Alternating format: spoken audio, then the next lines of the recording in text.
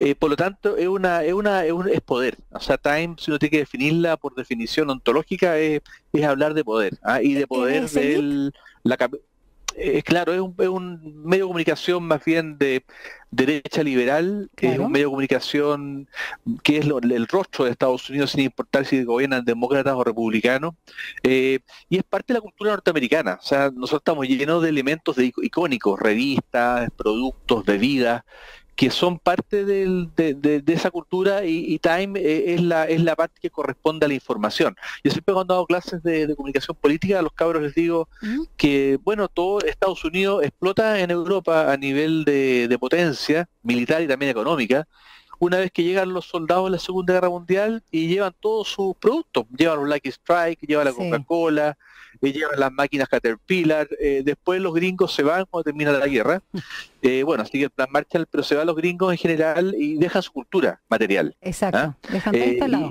Y, dejan todo instalado. Y, además estos soldados se, enamoran de las europeas, muchos se quedan ahí, tienen hijos, etcétera.